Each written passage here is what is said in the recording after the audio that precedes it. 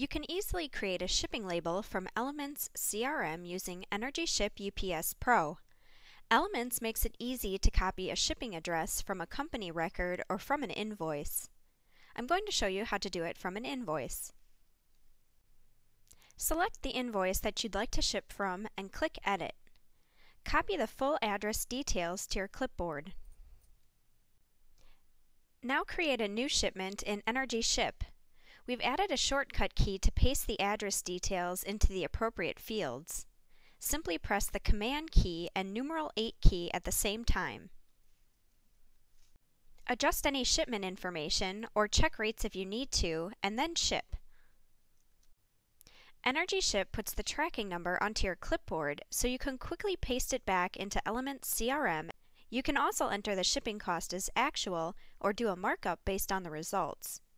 Now you can move on to your next shipment.